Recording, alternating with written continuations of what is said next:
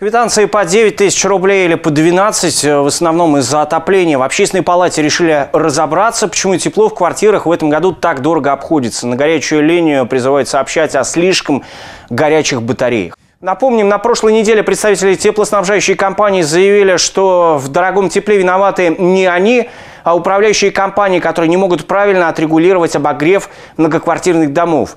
Из-за чего в одних квартирах холодно, а в других невыносимо жарко. Но членов э, общественной палаты это заявление не успокоило. С сегодняшнего дня там начала работать горячая линия «Африка в квартирах». Звонки принимаются по телефону, которые вы видите на своих экранах. С каждым сообщением о температуре в квартире выше нормативных 24 градусов общественники пообещали разобраться.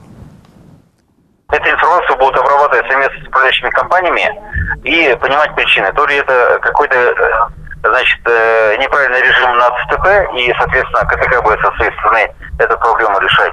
Или вместе с управляющей компанией смотреть, как можно регулировать систему дома для того, чтобы этого не допускать. Задача общая. Все стороны э, попытаются понять причины и найти пути решения этих проблем по конкретным домам.